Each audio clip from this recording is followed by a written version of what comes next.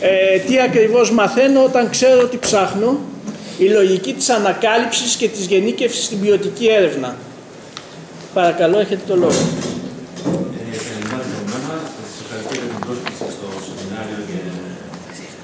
στις συζητήσεις που κάνετε όλο το διάστημα. Με χαρά και τιμή θα, θα προσπαθήσω να μοιραστώ μαζί σας κάποιες σκέψεις και κάποιες ιδέες που έχω για, το, για την ποιοτική έρευνα; Ε, ο τίτλος στην ουσία συνοψίζει με ένα ακόμα δυσεπίλητο πρόβλημα στην, στην κοινωνική έρευνα γενικά, που έχει να κάνει με τη σχέση μεταξύ θεωρίας και ερευνητικών δεδομένων.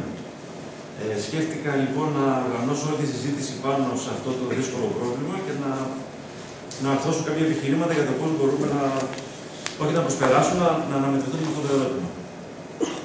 Ε, σκέφτηκα να ξεκινήσω τη συζήτηση ε, με το κοινό νου, ε, τον επιστημονικό κοινό νου, δηλαδή τι πιστεύετε συνήθως για το για, για ποιο λόγο κάνουμε ποιητική έρευνα και τι ψάχνουμε. Λέγεται λοιπόν συνήθως ότι κάνουμε ποιητική έρευνα και συνδέεται η ποιητική έρευνα όταν ε, θέλουμε να μελετήσουμε σε βάθος ένα φαινόμενο, να μελετήσουμε την οπτική γωνία των υποκειμένων και συνήθως λένε αρκετοί ότι συνδέεται με την επαγωγή. Και τα τρία αυτά νομίζω είναι ε, λίγο παγίδα, είναι λίγο πρόχειρες αντιμετωπίσεις του, του ζητήματος ε, και για μια σειρά από λόγους και ερωτήματα που έχουν να κάνουν με, με αυτά που λέγαμε πριν. Έχω εστιάσει σε, σε συγκεκριμένα σημεία για το Α. Ε, θα μπορούσε να, να πει κανείς για το Α, για ποιο λόγο είναι σημαντικό αυτή η γνώση να αναζητηθεί.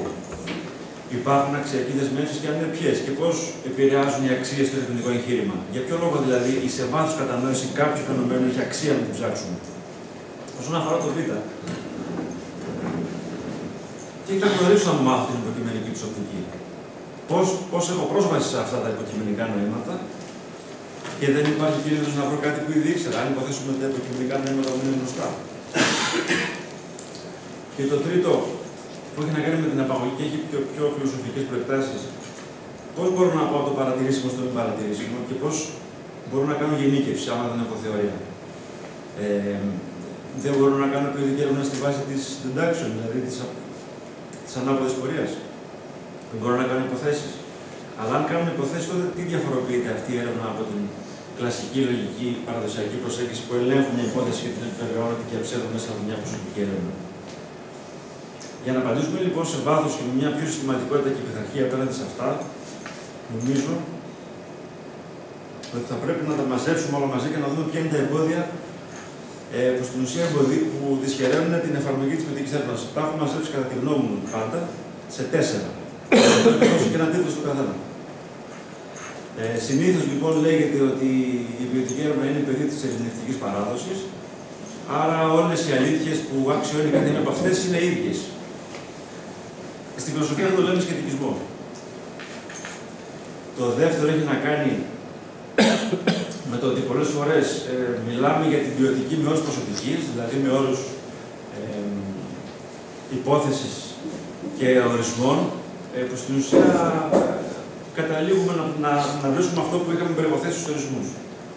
Ταυτολογία το λέμε αυτό. Το τρίτο έχει να κάνει με ότι πολλές φορές ε, ψάχνουμε για ψυχολογικές εξηγήσεις αυτά που λένε τα υποκείμενα, είτε αυτό έχει να κάνει με παρατήρηση, είτε αυτό έχει να κάνει ε, με συνεντεύξεις που δεν ισχύει κάτι τέτοιο επίσης. Και το τελευταίο, επίσης το ακούμε συχνά, ότι η ποιοτική έρευνα δεν χρειάζεται να στοχεύσει γενικεύσει, γιατί ασχολούμαστε με βιώματα που είναι ομάδες που είναι αποκλεισμένες, καταπιεσμένες. Ε, άρα είμαστε εντάξει με αυτό. Και τα τέσσερα νομίζω ότι είναι ε, σε λάθος πορεία. Κατά τη γνώμη μου, θα πρέπει να η ποιοτική έρευνα, όπως και η προσωπική κοινωνική έρευνα, να απαντήσει σε τρία κλασικά ερωτήματα. Το ένα έχει να κάνει με ένα οντολογικό ερώτημα, δηλαδή να έχει μια σαφή εικόνα για το τι υπάρχει, τι, πώς αντιμετωπίζω αυτό που θέλω να μελετήσω, το φαινόμενο, δηλαδή τι παραδοχές έχω γι' αυτό, δηλαδή αν υπάρχει όσο αντικειμενικό ή αν το φτιάχνω εγώ ως ερευνητής. Το δεύτερο, πώς μπορώ να το μάθω, πώς μπορώ να έχω πρόσβαση να το γνωρίσω δηλαδή. Και το τρίτο, ε, πώς μπορώ να δικαιολογήσω αυτό που θεώρησα ότι υπάρχει. και τα τρία διαπλέκονται και μόνο αν απαντήσουμε με σαφήνεια σε αυτά μπορούμε να έχουμε ένα ε, καλό αποτέλεσμα. Θα ήθελα λοιπόν στο τέλος, αφού τελειώσουμε την εισήγηση αυτή, αν έχω καταφέρει να απαντήσω σε αυτά, δηλαδή να, να υποστηρίξω ότι μπορούμε να γενικεύσουμε στην ποιοτική έρευνα αν ξεκαθαρίσουμε τη διαφορά γενίκευσης και αφαίρεσης. Ω εκ τούτου μπορούμε να πούμε ότι δεν είναι όλα τα αποτελέσματα της έρευνας το ίδιο. Και το τρίτο, επίσης, ότι η δυνατότητα να βρούμε κάτι μέσα από τα δεδομένα δεν είναι προϊόν ε, τυχαία ε, έμπνευση του ερευνητή. Και στα τρία αυτά ερωτήματα παραδοσιακά έχουν απαντήσει οι επιστήμονες, κυρίως σε πολύ τη ποσοτικής παράδοσης, μέσα από την έννοια της απαγωγής, η οποία ως γνωστό ισχυρίζεται ότι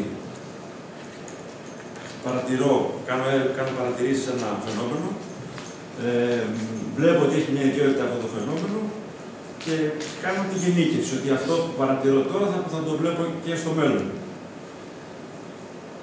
Παρ' όλα αυτά, εδώ και τρεις αιώνες περίπου, ο Χιούμ είχε ασκήσει μια σφοδρή κριτική σε αυτό το συλλογισμό και έχει υποστηρίξει ότι αυτό το πράγμα είναι λίγο ψυχολογική, ας την πούμε, έχει ψυχολογική βάση, με την έννοια ότι δεν μπορώ εύκολα να, να πάω από τα αποτελέσματα να πάω στα αίτια και να υποστηρίξω ότι αυτό που παρατηρώ τώρα θα το παρατηρώ και στο μέλλον.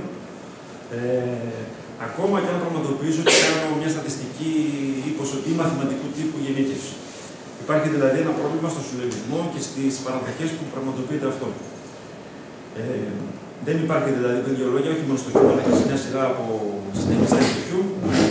Ε, δεν υπάρχει κάτι λογικό που να δικαιολογεί τη μετάβαση ε, από αυτό που συμβαίνει σε αυτό που θα συμβεί.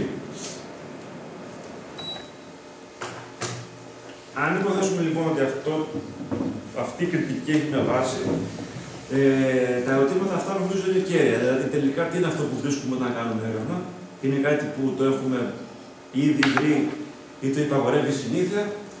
Ε, και μήπως τελικά η γνώση του κόσμου δεν ξεκινάει από τις παρατηρήσεις που κάνουμε για αυτόν; Νομίζω είναι αυτά που είναι τρία ερωτήματα που ταλαιπωρούν τον ερευνητή ε, στον βαθμό που θέλει να έχει εξόψει συμπεράσματα. Για να απαντήσουν σε αυτά τα ερωτήματα, κάποιοι φιλόσοφοι της επιστήμης είχαν υποστηρίξει, μεταξύ τους και ο Πόπερ, ότι ένας καλός τρόπος να ξεκαθαρίσουμε τελικά τι είναι επιστημονικό και τι όχι είναι να διακρίνουμε το πλαίσιο της ανακάλυψης από το πλαίσιο τη δικαιολόγηση. Δηλαδή, ε, λένε κάποιοι, μεταξύ τους και ο Πόπερ, ότι η επιστήμη δεν προχωράει με την επιβεβαίωση, αλλά με τη διάψευση όπως θέλουμε, για τον λόγο ότι αν ψάχνουμε μόνο την επιβεβαίωση, τότε πολύ εύκολα ε, θα βρίσκουμε πράγματα που βεβαιώνουν αυτό που ήδη έχουν προ... των προεδρών προκαθορίσει και η κριτική του στον μαρξισμό και στην ψυχανάλυση είναι ε, τα πιο κλασικά παραδείγματα από τη μεριά του γι' αυτό. Ε, για τον Πόμπερ αυτό που καθορίζει την επιστημονικότητα μιας θεωρίας ε, έχει να κάνει όχι με το πώς βρήκα εγώ τη θεωρία, αλλά με το πώς τη δικαιολογώ επιστημονικά, λογικά δηλαδή, και πώς μπορώ αυτό που ε, διατυπώνω να μπορεί να διαψευστεί από μια μελλοντική έρευνα. Αυτό είναι το κριτήριο για τον Πόπερ. Και ο ίδιος υποστηρίζει στην ουσία ότι ε, καλή είναι η ψυχολογία, καλή η κοινωνιολογία, αλλά δεν μπορεί να μας τεκμηριώσει το, για, το πώς ε, πώς, πώς τεκμηριώνεται, πώς δικαιολογείται ένα επιστημονικό συμπέρασμα. Στην ουσία, ο Πόπερ ήθελε να διακρίνει τη φιλοσοφία της επιστήμης από την κοινωνιολογία της επιστήμης. Ε, αυτό στην ουσία, για το Πόπερ άλλο είναι να ρωτάμε πώς φτάσαμε σε μια ιδέα και άλλο είναι ποιοι παράγοντες ε, συνέβαλαν. Το βασικό, η βασική ο βασικός εχθρός τέλος πάντων της φιλοσοφίας της επιστήμης και της, του λογικού θετικισμού, θα λέγαμε, είναι ο φόβος για τον ψυχολογισμό. Ο φόβος για τον ψυχολογισμό. Ε, ότι δεν πρέπει να παρισφρύνουν μέσα στο, στο επιστημονικό εγχείρημα ψυχολογικά ή κοινωνικά ή ιδεολογικά ζητήματα. Η κριτική ήρθε μεταξύ άλλων η πιο γνωστή είναι του Κούν, ο οποίος υποστήριξε όπω γνωστό ότι δεν υπάρχει αυτό, δηλαδή δεν μπορούμε να διακρίνουμε ανακάλυψη και δικαιολόγηση για τον απλό λόγο ότι ε, οι ίδιες οι αποφάσεις που παίρνουν οι ερευνητές και οι επιστήμονες είναι κομμάτι της κουλτούρας, άρα η ίδια η κουλτούρα εγγράφεται μέσα στο ίδιο το εγχείρημα, άρα οι αξίες ε, και η κοινωνία η ίδια είναι κομμάτι του επιστημονικού αποτελέσματος. Κατά τη γνώμη μου, αυτό έκανε μεγάλο κακό στην κοινωνιολογία, γιατί με βάση αυτό το σκεπτικό ε, καταλήξαμε σε σχετικισμούς. Η απάντηση βέβαια εξακολουθεί και είναι ότι ακόμα και αν γνωρίζουμε τα κοινωνικά αίτια που οθούν κάποιον να επιλέξει τη μία θεωρία την άλλη, δεν έχουμε απαντήσει στο ερώτημα πώς αυτή δικαιολογείται επιστημονικά. Δηλαδή, κάποιοι πιστεύουν ότι ε, ο Κούν διάβασε λάθος το επιχείρημα του Πόπερ. Και μάλιστα υπάρχουν και πολλοί που τον κλεβάζουν. Τώρα, αυτοί που δεν το κλεβάζουν όμως υποστηρίζουν ότι δεν μπορούμε να κάνουμε, δεν υπάρχει παρατήρηση δίχως θεωρία. Δεν υπάρχει δηλαδή ε, αυτό που λέμε, βλέπω τους αριθμούς και αυτοί μιλάνε μόνοι τους. Πάντα υπάρχει ένα πλαίσιο θεωρητικό. Αυτό όμως έχει τον κίνδυνο να μας οδηγήσει σε σχετικισμό, είναι η ερώτηση. Ε, εξακολουθεί να παραμένει το γεγονός ότι δεν συμφωνούν όλοι για το ότι μπορούμε να κάνουμε ανακάλυψη ενός δεδομένου που δεν το υπαγορεύει παρατήρηση, αν δεν έχουμε κάποια κριτήρια για να το τεκμηριώσουμε. Ε, το δεύτερο, για να πούμε ότι ανακαλύψαμε κάτι μη παρατηρήσιμο, θα πρέπει να έχουμε αποδεκτά κριτήρια, που σημαίνει ότι αυτό που λέμε ρεαλιστικό πρόβλημα, ε, τι θέση παίρνει καθένας απέναντί Δηλαδή, όταν μιλάει κανείς, ξέρω εγώ, για την κοινωνική τάξη ή ένα θεσμό ή την ολότητα, Πώς την ορίζει, την ξέρει ή την θεωρία δεδομένη. Και τα δύο αυτά συνηφέρονται με το, με το ερώτημα του κατά πόσον ε, τελικά τα δεδομένα, κατά πόσον η εμπειρία διαψεύδει τη θεωρία. Η μια απάντηση είναι ότι δεν διαψεύδεται, αλλά ε, εμπλουτίζεται. Η πιο γνωστή απάντηση μετά τον Κούν είναι η απάντηση που έδωσε ο Λάκατος και ο οποίος υποστήριξε ότι η επιστημονικότητα μιας θεωρίας δεν εξαρτάται από τον εξωτερικό κόσμο, αλλά από το κατά πόσο μπορεί να μας κάνει να βλέπουμε με νέο τρόπο αυτό που δεν βλέπαμε. Αυτό δεν γίνεται, λέει, μέσα από την ασκευή από τα δεδομένα, αλλά από το κατά πόσο μπορεί να ξεπεράσει άλλες θεωρίες. Και ο ίδιος έχει υποστηρίξει ότι ο σκληρό πυρήνα μιας θεωρίας δεν απορρίπτεται έτσι εύκολα, αλλά ε, δουλεύεται και επαναδιαμορφώνεται σε σχέση με άλλες θεωρίες. Είναι δηλαδή πιο πολύ ιδεαλιστική απάντηση με την έννοια ότι ξεκινάει από το θεωρητικό επιχείρημα και πηγαίνει στα δεδομένα. Κατά τη γνώμη μου, και οι δύο ε, απόψεις έχουν τον εξής κίνδυνο ότι ούτε μπορούμε να αναπτύξουμε θεωρία από τα γεγονότα, ούτε ε, μπορούμε να επιβάλλουμε ε, στα γεγονότα της θεωρίας. Στην πρώτη δεν θα έχουμε θεωρία, όπως σημαίνει συνήθως, και στη δεύτερη θεωρία ήδη υπάρχει.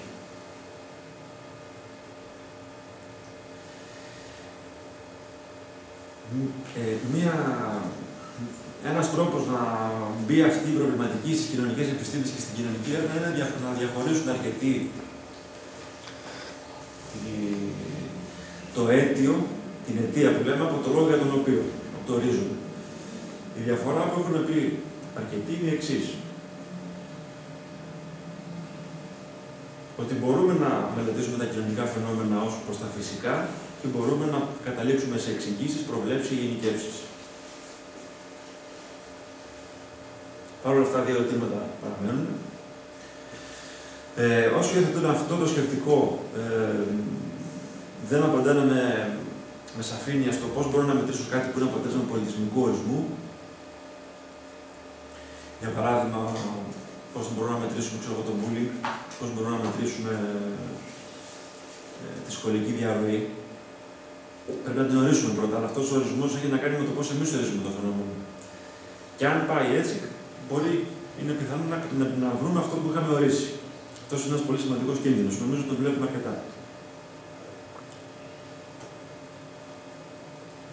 Η απάντηση που έχει δοθεί σε αυτά τα ερωτήματα από υποστηρικτές της ρεαλιστικής νοσιοθεωρία είναι η θεωρία της ορθολογικής δράσης,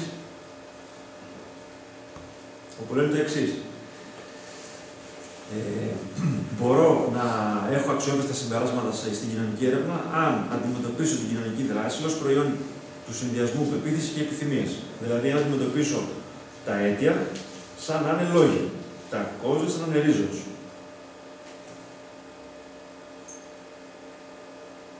Δηλαδή και τα δύο αυτά είναι οι λόγοι για τους οποίους καθορίζουν τη δράση. Η αντίληψη αυτή για την για την εξήγηση της κοινωνικής συμπεριφοράς είναι στην ουσία ε, αυτό που εξετάζεται στην ουσία είναι το κατά πόσο η δράση του υποκειμένου αντανακλά ε, τη δράση ενός ορθολογικού δρόντα. Παράδειγμα. Δικό μου το παράδειγμα, τυχαίο. Νομίζω όμως έχει μια, μια συσχέτιση με αυτό που συζητάμε. Η Μαρία θέλει το Δέλτα, που έχουν να εφαρμόσει και να το στο σχολείο. Η Μαρία πιστεύει ότι το Α. Ε, έχω, κάνει, έχω βάλει με bold τις, ε, τις λέξεις απέναντι. Επεποίθηση, επιθυμία και δράση. Η επιθυμία της είναι να κάνει καινοτόμες δράσεις. Πιστεύει ότι για να το πετύχει αυτό πρέπει να επιμορφώνεται και άρα πράττει, πηγαίνει σε σεμινάρια. Αυτή είναι μια εξήγηση δηλαδή μιας κοινωνικής συμπεριφοράς βασισμένη σε μια αρθολογική, σε, μια αρθολογική, σε ένα αρθολογικό μοντέλο του γιατί κάνω αυτό που κάνω. Παρ' όλα αυτά υπάρχουν κενά. Όπως η Μάρια ενέχεται να πηγαίνει σε αντιμορφωτικά σεμινάρια επειδή θέλει να γεννήσει τον χρόνο της, επειδή είναι ερωτημένη, επειδή φοβάται την αξιολόγηση, επειδή έχει ελεύθερο χρόνο και ούτω καθεξής. Άρα, αν δεν μπορώ να προβλέψω όλα αυτά, δεν μπορώ να προβλέψω αν στο επόμενο σεμινάριο τι δούμε. Αυτό δηλαδή υπάρχει αυτό που λέμε η ολότητα του νοητού, η ολότητα του, του διανοητικού, που άμα δεν μπορέσω να το ε, κάπως να το κατανοήσω, ε, δεν θα ξέρω τι βλέπω. Πάνω σε αυτό το σκεπτικό και πάνω σε αυτή την κριτική, έρχεται η, η ερμηνευτική ας πούμε, παράδοση, με την ευρία έννοια, οι αντινατουραλιστές που πιστεύουν ότι ναι, υπάρχει ένα πρόβλημα με τους προηγούμενους, γιατί έχουν λάθος ταυτίσει το εξηγητέο, όπως λέμε, το εξηγήσιμο. Ε, για παράδειγμα, για να μην το βλέψουμε με φιλοσοφικούς όρους. Ξεκινάμε από μια γενίκευση, ότι όποιος έχει για καιρό μουσι και είναι αξίριστο έχει μουσι, και άρα ο συγκεκριμένος που το κάνει αυτό εξηγείται γιατί έχει μουσι. Με άλλα λόγια εδώ πέρα λένε πολλοί της ερμηνευτικής παράδοσης, αυτό που μπερδεύουν είναι στην ουσία ο ορισμός με, ε, με τον καθορισμό. Αυτό που λέει ο Σπινόζα, το τερμινάρι ίσον το τερμινάρι. Το σκεπτικό είναι το εξής. Δίνω το παράδειγμα και σας το αναλύω λίγο δίπλα. Άρα, η εξήγηση του γιατί κάποιος, δηλαδή το καθέκαστο, ένα συγκεκριμένο μεμονωμένο γεγονός έχει την ιδιότητα τάδε, εξηγείται επειδή είναι μέρος ε, μιας γενικότερης ας πούμε νομοτέλειας. Αυτό για τους ερμηνευτικέ και τη ερμηνευτική παράδοση είναι τελείως λάθος και ανταυτού προτείνουν αυτό ότι για να μπορέσω στην ουσία να πω ότι έχω καταλήξει σε μια εξήγηση, θα πρέπει αυτό που εξηγώ να διατυπώνεται με διαφορετικούς τρόπους από αυτό που θέλω να εξηγήσω. Ε, γιατί αν πω ε, στην ουσία ότι ο Δημήτρης έχει μούσει επειδή είναι καιρό είναι μια ταυτολογία. Οι ταυτολογίε χρησιμοποιούνται πάρα πολύ στα μαθηματικά και στη φυσική, αλλά είναι δύσκολο να εφαρμοστούν στις κοινωνικές επιστήμες. Δηλαδή υπάρχει το ενδεχόμενο να να, να μπερδέψουμε αυτό που λέμε τις αναλυτικές κρίσεις με τις συνθετικές κρίσεις. Οι συγκεκριμένοι είναι κρίσεις ε, που δεν χρειάζονται επιβεβαίωση από την εμπειρία. Οι συνθετικές κρίσεις χρειάζονται επιβεβαίωση από την εμπειρία. Ανταυτού λοιπόν οι τη προ, προτείνουν και πιστεύουν ότι όταν ψάχνουμε και ερμηνεύουμε, θέλουμε να εξετάσουμε ε, την κοινωνική πραγματικότητα, θα πρέπει να δούμε τι είναι αυτό που κάνει τους δρόντες να ακολουθούν ένα κανόνα. Αυτό που έλεγε ο Wittgenstein, φιλοσοφικές έρευνες. Ξεκινάνε και αυτοί από το ίδιο σκεπτικό, ότι μπορώ όντως να χρησιμοποιήσω αυτή τη φόρμουλα, πεποίθηση και επιθυμία καθορίζει τη δράση, με τη διαφορά ότι η πεποίθηση και η επιθυμία δεν είναι αντανακλάσεις μιας ορθολογικότητας που θεωρώ δεδομένη, αλλά στην ουσία δίνουν νόημα στην δράση. Αυτό. Μέχρι εκεί. Δηλαδή, ε, προσπαθώ να κάνω τη δράση κατανοητή. Και την κάνω τη δράση κατανοητή ε, κατανοώντας την ουσία και συσχετίζοντας την δράση με ένα πολιτισμικό κανόνα. Το επιχείρημα είναι το εξής εδώ, ότι άμα θέλω να κατανοήσω γιατί κάποιος κάνει κάτι, θα πρέπει να δω ε, ποιους λόγους, ποιοι είναι οι λόγοι, το, το reasons, ποιοι είναι οι λόγοι που συνδέονται με πολιτισμικού κανόνες και καθορίζουν τη δράση του. Άρα, οι δράσει των υποκειμένων στην ουσία αντανακλούν σε επίπεδο ε, πεποίθηση και επιθυμίας, αντανακλούν το πολιτισμικό πλαίσιο μέσα στο οποίο η δράση εκτυπώνεται. Με άλλα λόγια, αυτό που έλεγε ο Wittgenstein είναι αυτό που λέμε τα γλωσσικά παιχνίδια. Δηλαδή, ε, αφενός δεν μπορώ να κατανοήσω το νόημα ε, ξεκομμένο από την πολιτισμική εμπειρία. Αφετέρου, άμα θέλω να πω ότι αυτό το νόημα βρίσκεται κάπου στο κεφάλι μας, θα πρέπει να έχω κάποιος τρόπο για να το ε, εντοπίσω. Ε, και ο Wittgenstein κατέδειξε να πει ότι τέλος πάντων έχουμε διαφορετικά πολιτισμικά παιχνίδια που έχουν κανόνες, όπως είναι το σκακιστής, ότι αν παίζει ένας εξωγήινος, δηλαδή ο Wittgenstein, και δει δύο άνθρωποι να παίζουν σκάκι, δεν θα καταλάβουν και προφανώς τι κάνουν. Άμα δεν τους εξηγήσουμε τους κανόνες, που σημαίνει να κοινώ ένα πιόνι και να το βάζω εδώ και εκεί πέρα. Ε, Παρ' όλα αυτά όμως, οι δυσκολίες επιμένουν να συνεχίζουν να υπάρχουν. Όταν ξεκίνησε αυτή, όταν έγινε πολύ συνδυάσιμη αυτή η προσέγγιση και του Wittgenstein το 1930, ήταν η περίοδος που η κοινωνική ανθρωπολογία ήταν στα φόρτε της, με το Μαλινόφσκι κλπ. Ε, και όντως είχε πάρα πολύ, σημαντικές, ε, πολύ σημαντικά αποτελέσματα στον χώρο των κοινωνικών επιστημών. Έδωσε πάρα πολύ αξιόλογα συμπεράσματα. Το πρόβλημα όμως είναι ότι αυτά τα συμπεράσματα όντως έχουν αξία για κοινωνίες που είναι μη δυτικές. Για κοινωνίες όπως είναι οι δικές μας, το πρόβλημα εξακολουθεί και παραμένει ακαθόδες. Άμα πάμε να μελετήσουμε ένα φαινόμενο που είναι στη δική μας κοινωνία και το μελετήσουμε με αυτό το σκεπτικό, δεν υπάρχει ο κίνδυνος τελικά να μην βρούμε τίποτα. Να ανακαλύψουμε δηλαδή κάτι που ήδη γνωρίζαμε.